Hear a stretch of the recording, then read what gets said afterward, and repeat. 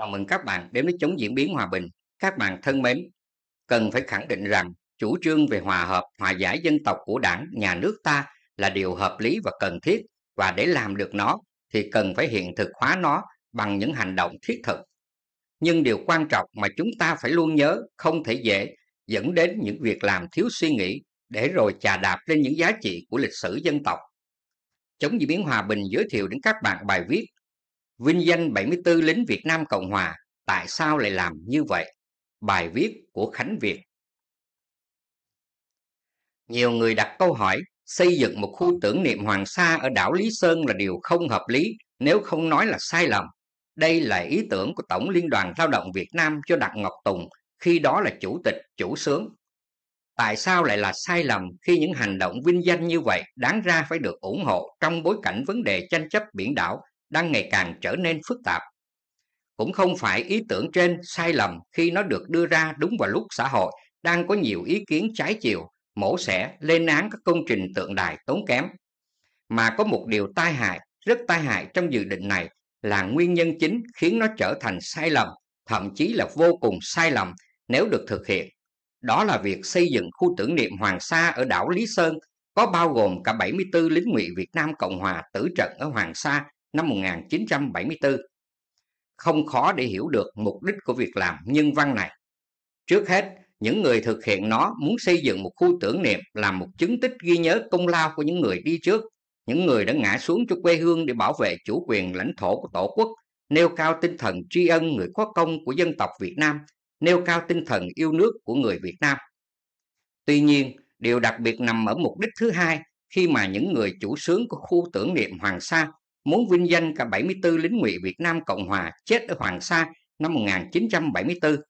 Đây chính là điều đáng phải bàn nhất và nó đang làm xôn xao dư luận bởi việc làm này không chỉ khiến người ta đạt được mục đích trước mắt đó là khơi gợi tinh thần yêu nước bảo vệ chủ quyền, sự nhân ái vị tha của nhân dân Việt Nam mong muốn hòa hợp, hòa giải sau chiến tranh mà nó còn liên quan đến câu chuyện của quá khứ và giá trị của lịch sử. Chính vì vậy mà đã có nhiều ý kiến trái chiều đã phản biện dự án trên.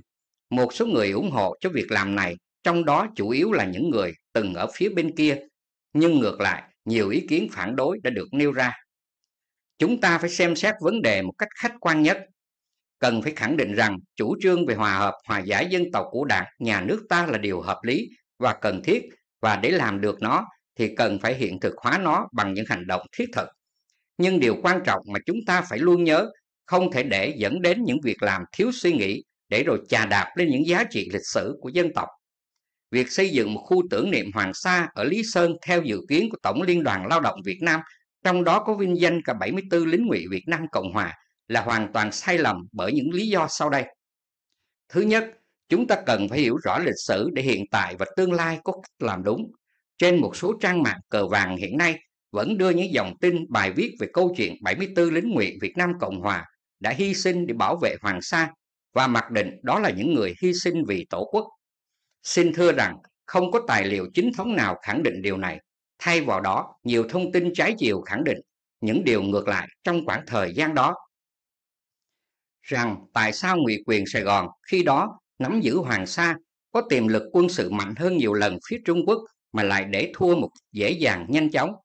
Người ta cho rằng điều mờ ám này có liên quan đến cái thống nhất ngầm giữa Trung Quốc và Mỹ cho tương lai một Việt Nam khi đó giống như Nam Bắc Triều Tiên bây giờ.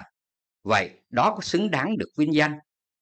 Thứ hai, nhiều thông tin còn khẳng định rằng ngụy quân Sài Gòn tuy quy mô mạnh nhưng khi đó có nhiều vấn đề tiêu cực nảy sinh trong quân ngũ, sự rệu rã đã khiến cho sức mạnh chiến đấu thực sự không như những người ta đồn thổi. Do đó, nhiều tàu chiến của ngụy quân từ biển đã bắn nhầm vào lính ngụy Việt Nam Cộng Hòa trên đảo điều đó có đáng phải tự hào. Thứ ba, việc vinh danh lính ngụy Việt Nam Cộng Hòa chưa có tiền lệ. Cho dù chúng ta rất mong muốn việc hòa hợp hòa giải dân tộc, nhưng hòa hợp hòa giải vẫn phải giữ đúng lập trường nhân văn nhưng bảo vệ được giá trị của lịch sử dân tộc. Nếu ý tưởng trên được thực hiện, nó sẽ là tiền lệ không tốt cho những hoạt động khác tiến hành. Nhiều việc làm thiếu suy nghĩ như vậy sẽ dẫn đến hệ lụy hậu quả khó lường chúng ta cần suy nghĩ thấu đáo, thiết thực trước những vấn đề quan trọng nào của đất nước, đặc biệt như trường hợp này không thể có chỗ cho những sai lầm.